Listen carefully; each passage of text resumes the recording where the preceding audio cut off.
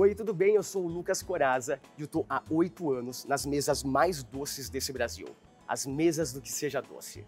É uma honra ser o jurado lá e eu já comi doces de todo tipo, dos ruins aos que me levaram aos céus. Essa temporada foi uma volta ao mundo em 80 doces. Assim, imagina você estar sentado numa mesa, tantos sabores deliciosos, e no dia dos Estados Unidos o ícone, Red Velvet ali, no nosso prato. Delicioso, macio, sabor do cream cheese.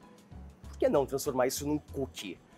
Uma massa boa, prática, rápida de fazer, craquelado por fora com açúcar, cremoso com cream cheese, e que você vai adorar aprender as dicas, porque são elas que me fazem pagar pelo doce.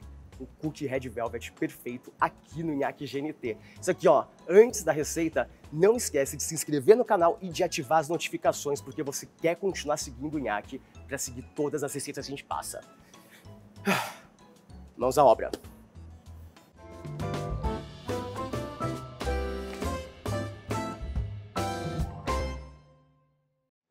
Primeiro passo para você fazer uma boa receita separa os ingredientes, organiza eles. E você vai precisar hoje do quê? Ovos, manteiga sem sal cortada em cubos, açúcar refinado, farinha de trigo, cacau em pó alcalino, isso é bem importante, sal, bicarbonato de sódio e fermento. Para o recheio, eu vou usar gotas de chocolate branco, não precisa ser o forneável, compra um bom chocolate branco. É importante, hein? Altera o sabor. Baunilha pode ser essência, extrato, pasta, açúcar de confeiteiro e cream cheese para poder rechear com raspinhas de limão fresquinhas. E o ingrediente que vai dar realmente a cor, o corante que vai trabalhar junto com o cacau. Ficou em dúvida de algum ingrediente? Quer saber as quantidades? Entra aqui ó, na descrição do vídeo e confere a receita completa primeiro passo de uma receita é organizar os ingredientes, mas também separar os seus utensílios. E para uma massa de cookie boa, você pode tanto fazer com as mãos, mas a batedeira, ela vai te ajudar muito. Por quê? A primeira etapa é você pegar manteiga em temperatura ambiente, é importante estar cortada em cubos, e o açúcar refinado. Você junta eles com a raquete e não com o globo. O globo pode quebrar inteiro, você não quer. A raquete é para massa manteigada. Velocidade baixa para não voar açúcar por todo lugar. Se ela não estiver muito baixa, vai no pulsar. Controla. Aí. Agora deixa. Que você quer aqui é transformar isso num creme. A batedeira faz 80% do trabalho por você. Os outros 20%, pega a espátula e separa do bol é uma massa que você não quer trabalhar muito. Então, você quer ajudar ela a chegar no lugar mais feliz, que é qual? Cremosidade airada. Como que eu faço isso agora? Adiciono os ovos um a um, quebra sempre num recipiente separado, olha, vê se não tem casca. Como você soltou a manteiga da lateral, o ovo entra rápido nessa mistura. Então, aqui o que você quer agora é juntar o ovo, o açúcar e a manteiga pode talhar. Qual foi o erro se talhar? Alguns ingredientes ficou gelado. Então todos sempre temperatura ambiente. E, se precisar, raspa o fundo da batedeira, porque tem que ficar uniforme essa massa. Uniforme mesmo. Ah, agora chegou no ponto certo. Tá vendo? O líquido que estava embaixo não estava deixando a manteiga juntar com o ovo. E o que, que aconteceu? Na hora que eu tirei, né, desgrudei de lá, aí ficou homogênea. Agora, tudo ficou mais fácil, porque o próximo ovo já vai entrar mais macio, o preparo fica mais ágil e rápido. Ó, e lembra do seguinte, se você colocar todos os ovos aqui dentro de uma vez só, você aumentou demais a quantidade de líquido para gordura. Aí vai talhar com certeza.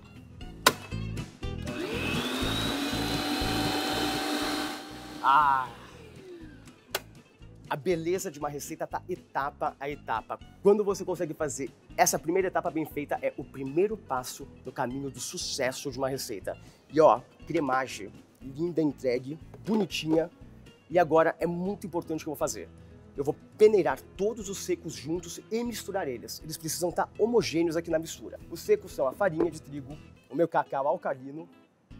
O cacau, ele pode dar uma empedradinha, tá? E é por isso que é importante peneirar bicarbonato de sódio, sal, cookies precisam de sal, tá? é, é, o segredo da massa, é um equilíbrio entre a manteiga, o açúcar e o sal que faz ele dar certo. Então, é importantíssimo, imprescindível para um bom cookie a presença do sal. Peneiro esses ingredientes, mistura eles para distribuir igual esses pós.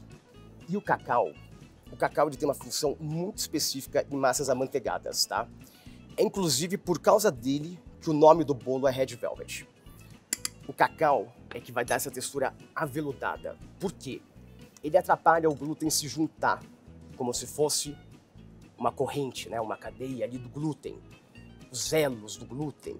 E ele ali sólido ajuda que essa massa fique mais fofa e com textura aveludada. E é por isso que o nome do bolo é Red Velvet, veludo vermelho. Tem a ver com a cor e a ver com a textura. E só o cacau vai fazer isso por você.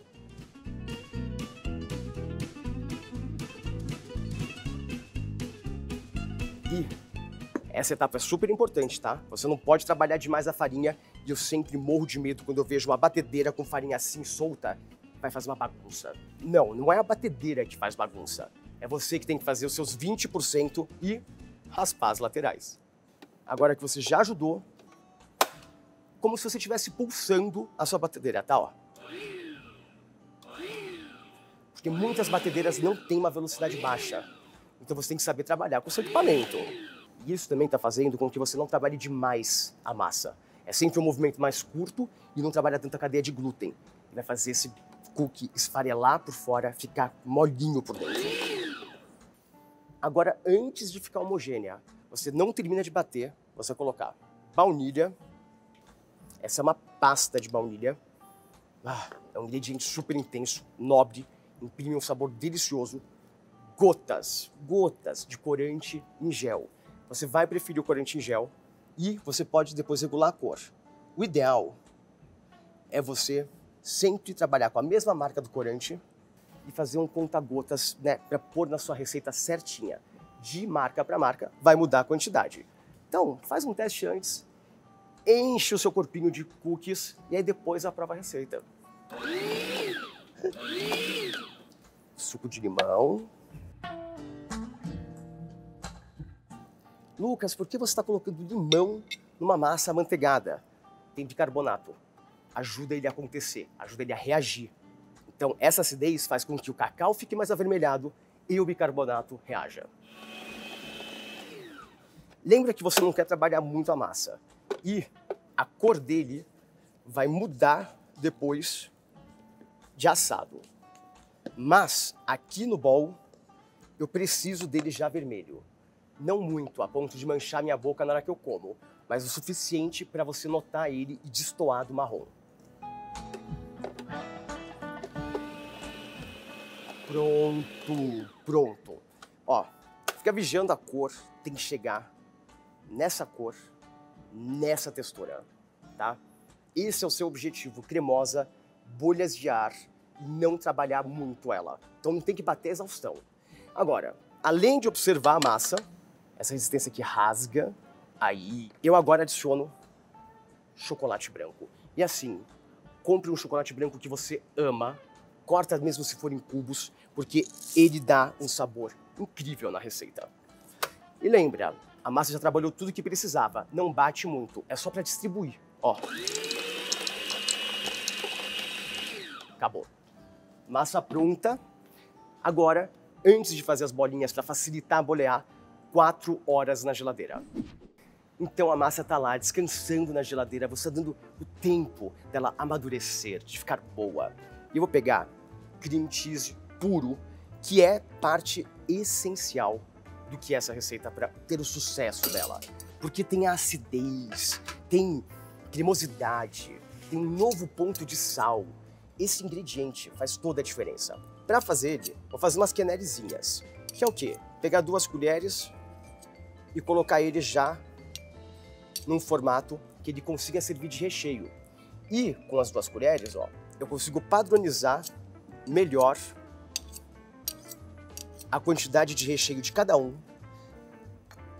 Enquanto a sua massa está na geladeira ali por umas duas, quatro horas, mais ou menos, essa quenellezinha tão pequena tem o tempo certo de conseguir ficar firme o suficiente para você conseguir rechear a sua massa.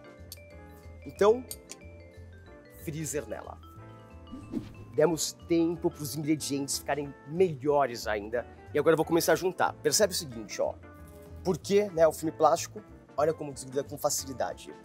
Por que eu descanso? Olha como ela não gruda na minha mão. Então lembra o que? Aqui tem corante. Você não quer ficar sujando a mão. O melhor jeito de não sujar a mão é também já porcionar de forma uniforme. Ou seja, um boleador de sorvete e desses, ó, bem clássicos que raspam em cima. Assadeira. Não colocar o cookie direto em contato, sempre um papel manteiga embaixo e cortado de uma forma ó, que ele não fique saindo para fora. Porque às vezes ele vai dobrar em cima do cookie, aí vai ficar todo feio, todo defeituoso. Você não quer isso. Então, porciona a sua massa primeiro. Sempre que ó, porcionar, é para conseguir chegar neste resultado. Como que eu faço isso? Ó? Eu encho ele, raspo ele aqui na lateral, fico sempre com o mesmo volume, sempre a mesma quantidade e faço a minha bolinha.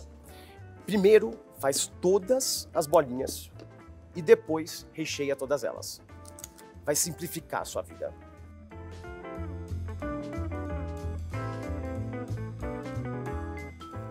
Prontinho. Esses cookies agora você tem que fazer o quê? rechear. E para isso, recheio congelado. Você pode pegar ela na mão, amassando aqui um pouquinho e tenta não fazer de novo uma bola, tá? Voltar ele para uma bola. Só fecha, ajeita o formato e ainda assim eu preciso que ele fique alto. Você tem que lembrar que para o ter esse formato suculento, ele precisa de altura. Então, ó, um furinho no centro, o cream cheese congelado.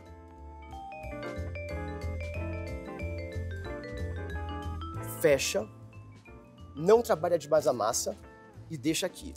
Faz toda essa etapa até o fim e depois empana todos de uma vez. E isso vai facilitar a sua vida, porque agora você está sujando a mão com gordura, com cream cheese, e ali você não quer fazer isso. Olha, esse espaço tem entre os cookies é essencial. Aqui, por exemplo, eu faço ele nesse formato para que eu possa até congelar ele agora, ter em estoque ali dentro do meu freezer por até 50 dias. E o jeito certo de congelar é sempre colocar uma película embaixo, que nem eu coloquei o filme plástico. Mas aqui também é para ir para o forno. O que, que é o espaço que eu estou dando?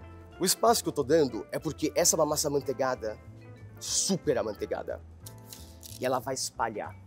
Mas é isso que vai deixar ele fofo e cremoso ao mesmo tempo e crocante por fora. Agora você tem duas opções. Você pode deixar descansar a massa ou congelar ele assim, do jeito que ele está, sem o açúcar, ou já pode passar o açúcar. Eu vou usar o açúcar impalpável e é importante que seja ele. Quem é o açúcar impalpável? O açúcar impalpável é um açúcar de confeiteiro bem fino que tem a presença de amido, ou seja, ele vai ajudar essa crosta branca a se formar. Não bate muito o excesso, é importante que cubra toda a sua superfície e esses pedaços mais fortes, na hora que craquelar, eles trazem uma aparência bonita. E é por isso que essa camada uniforme de açúcar é tão importante nessa etapa, porque no forno ele vai craquelar inteiro e você vai levar ele agora para o forno pré-aquecido a 180 graus e tem que pré-aquecer uns 15, 20 minutos. Ele quer forno rápido, forno quente. Para quê? Ficar crocante por fora e macio por dentro. Então, forno.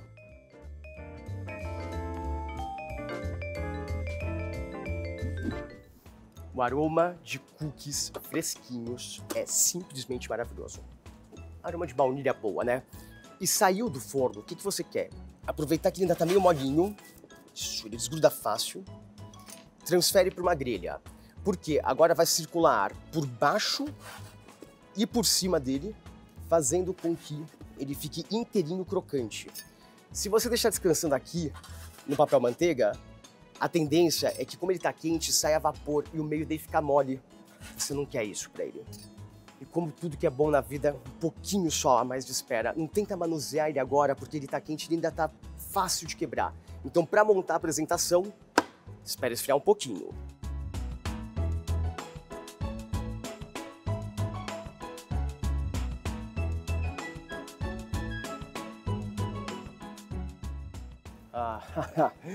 eu pagaria por esse cookie Red Velvet. Aliás, essa receita é uma receita que você quer fazer. Gostou da receita? Deixa um comentário aqui embaixo. E não deixa de compartilhar esse vídeo, porque você quer ser recebido na casa das pessoas com quê? Com cookies fresquinhos e bons. E essas são as dicas que eu tenho para te dar para sempre chegar nesse resultado. Um doce que você sempre pagaria por ele. Eu adorei passar essa receita, eu torço que você faça ela e eu te vejo aqui no Nhaque em outras receitas. Até lá! Non, je peux. Quel